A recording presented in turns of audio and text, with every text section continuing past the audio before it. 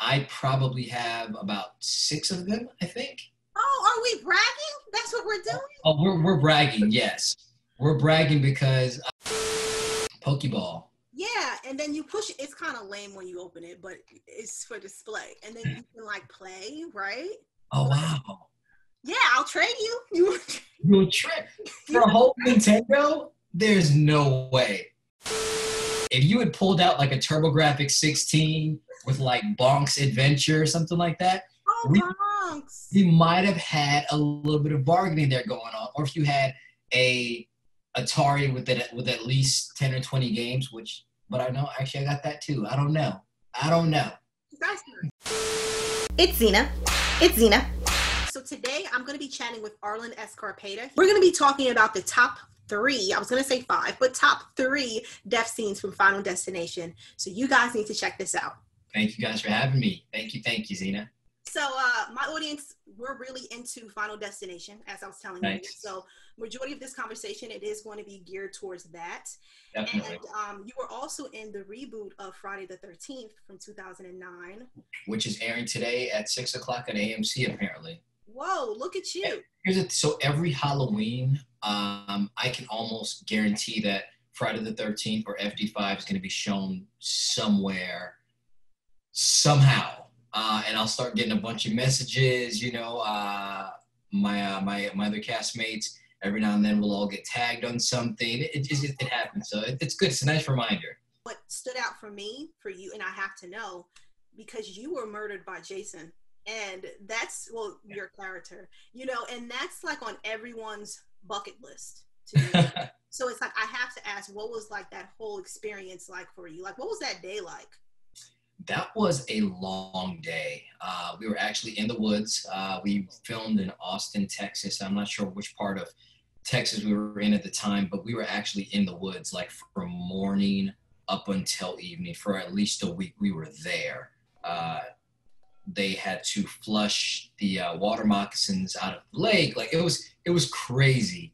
Uh, but we had fun. We had, we did have the table tennis. We had, um, we had a jacuzzi. We had all these really cool stuff to hang out and do.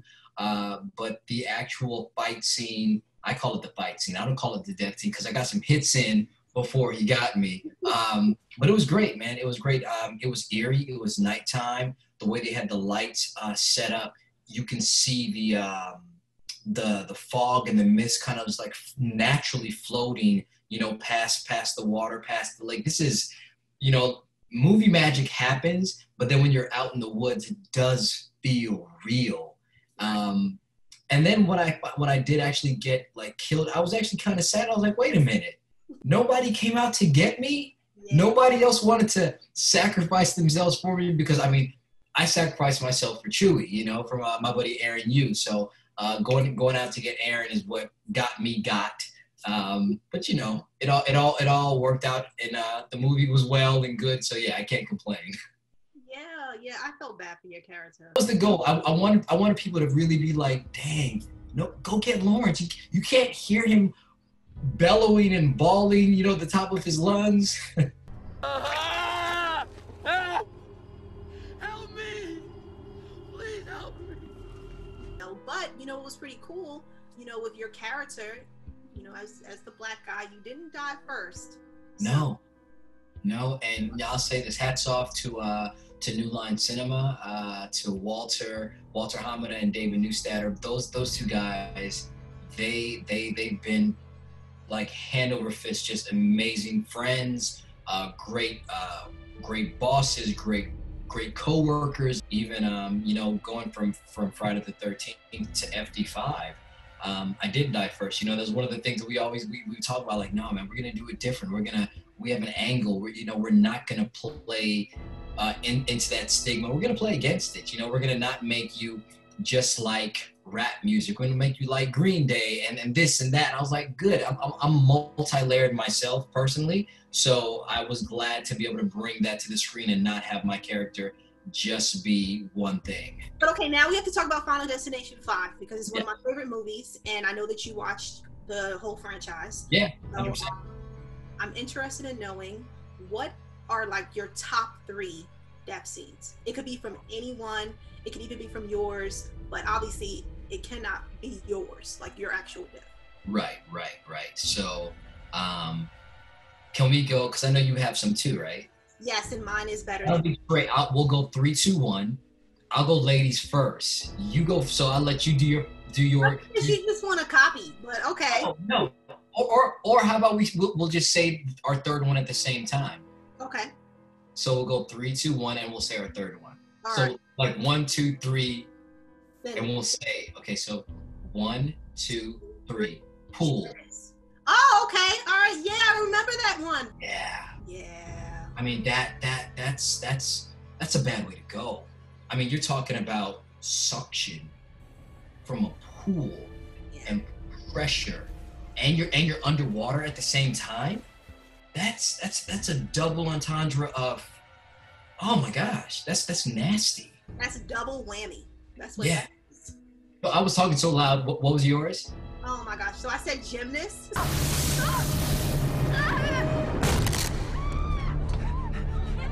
So I Oh said wow. Okay. from part five. That like hurt my soul. At first I like laughed, but then quickly I stopped because like it was just so sudden. Can that happen? I don't know. You know, and it was just it was just shocking and like she was just so broken like a twig, you know, Yeah. like a toothpick. Like Okay.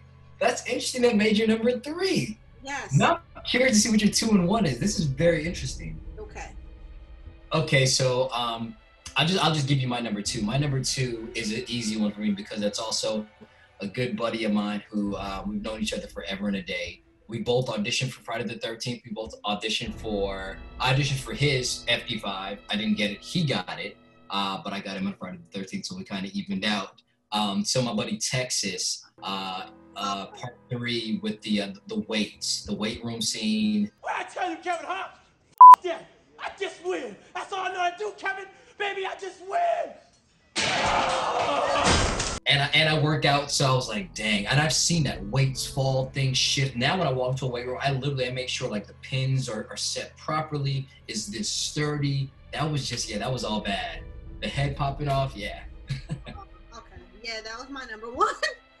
that was Really? my number one. Yeah, because it was just like it reminded me of like you ever had like um open like a can of like what is it like meatloaf or yeah, it's like meatloaf and it, there's meatloaf that comes in a can, I think. yeah, boy. Kind of comes out, yeah, yeah. That's it reminded me just of it because it was just all that trash talk. He was oh yeah, he he he really kind of built himself up to deserve that throughout the throughout the movie. Absolutely, he did. Okay, well, yeah, you you have my my one, but okay, number two, um, it was from Final Destination two, and it was with the woman who was sitting in the car, and like sadly the pole went through her head. Yeah, like the firemen, they were trying to save her. It was so I felt so bad for her because it's like you know she had she was in a car accident, and then everybody was like, oh yeah, she's fine, this is She great. might be okay. yeah. Then that horrible move, and it just it was just shocking for me, but. I think that's one of my favorite things about uh, FD5, excuse me, uh, Final Destination films in general. It's that misdirection. That misdirection is so key. It's so important. It brings you up. You're like, oh my god, okay, oh that was really bad, and then, then they get you with another one, you know. Um, and because I say misdirection, that leads me to my number one. So my number one is actually the gymnast.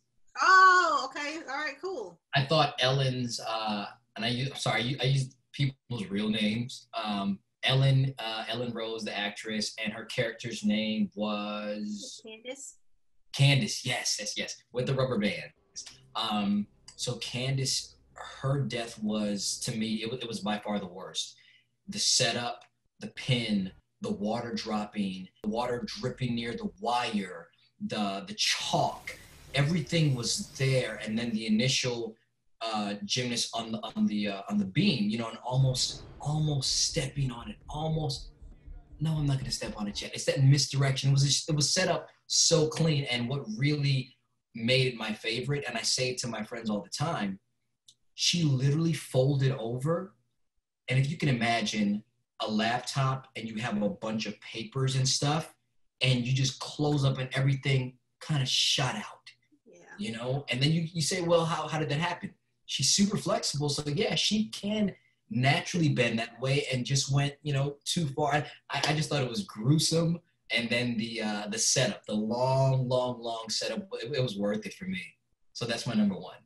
I agree with you. Like that one, like the the setup. I thought that she was actually going to like step on that little tack, Yeah, yeah. or break her neck or something. Yeah, Yeah, no, they you guys really took it there. Like that was extreme, very unexpected. was. But okay, I guess we have a tie. I guess. You know? we picked some of the same ones. That's fair. yeah. So so that's. But yeah, but thank you again, you know, for coming on and you know chatting with me again. You guys can find him on Twitter and Instagram, Arlen Escarpeta, and then on Facebook, Arlen Escarpeta. So I'll leave everything below. Thank you, Zena. Thank you, thank you, thank you.